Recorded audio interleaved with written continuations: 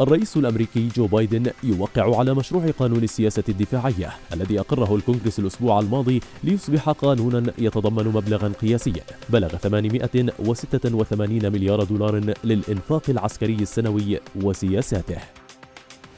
إقرار قانون تفويض الدفاع الوطني الذي بدأ منذ عام 1961 هو أحد مشاريع القوانين الرئيسية القليلة التي يمررها الكونغرس كل عام.